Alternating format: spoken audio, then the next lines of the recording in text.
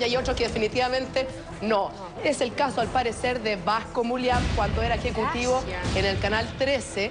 Dicen por ahí que no tenía fe a los 80, que ayer comenzó nuevamente su exitosa temporada.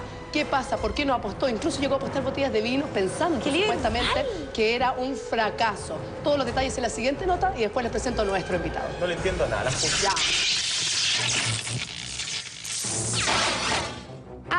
Entre los realizadores de la serie Los 80 y el actor Vasco Molián.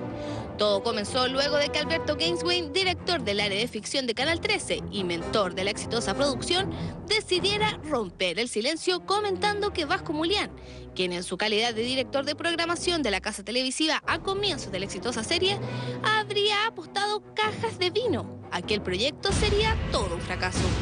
Actitud que en su momento habría molestado a todo el equipo de trabajo, quienes ahora, sin embargo, disfrutan de la victoria. Intrusos. Los creadores de la exitosa serie Los 80 no quieren ni ver a Vasco Molián. Todo porque el comunicador habría sido el principal obstáculo que debieron enfrentar al momento de presentar el proyecto al ex canal del Angelito. Y es que según cuenta el mentor de la producción, la idea no habría sido vista con buenos ojos por el ahora conductor, además de haber tenido que lidiar con comentarios de distintas personas que no apoyaban la osada producción. Así lo declaró a un medio escrito. En un principio me decían, pero son todos muy morenos. Este proyecto se hizo de forma peculiar. Lamento decirlo, pero es verdad. Gracias a que el canal estaba en crisis y no había nadie preocupado en ese minuto, el proyecto fue lo que fue. Pero si no, hubiese sido intervenido por muchas razones. De otras, porque el casting era muy moreno. Éramos negros, que éramos todos negros. No sé qué dijo, pero algo dijo.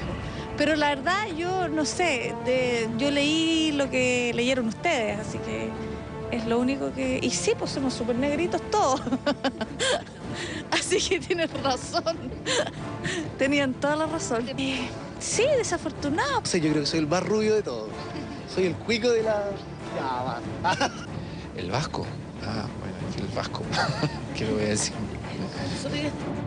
Conversamos con Andrés Wood, productor general de los 80, para que nos comentara sus apreciaciones acerca de la polémica. Y me imagino que había mucha gente que pensaba que le iba a ir mal y, y sinceramente nosotros tampoco sabíamos muy bien cómo le iba a ir. Y nosotros somos uno de los simples productores de la serie, participamos, opinamos, pero evidentemente no, estamos metidos en las grandes decisiones de, ese tipo. O sea, lamentable. eh, obviamente si, si existieron esas, creo que a mi gusto no, no es muy afortunada esa frase.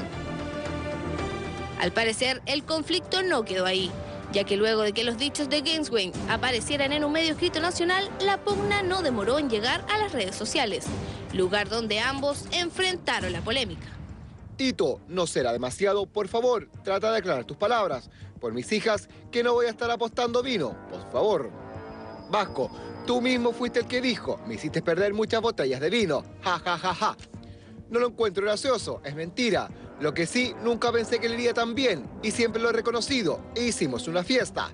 Me saqué la cresta, Tito, para que a los 80 le fuera bien. Viviré igual que tú con el éxito. Lo que hiciste no se hace, y lo sabes. Verdad o mentira, eso simplemente ellos lo saben. Lo que sí queda claro es que los 80 llegó a nuestra televisión para quedarse. Y al parecer, ni las cajas de vino ni los dimes y diretes lo detendrán.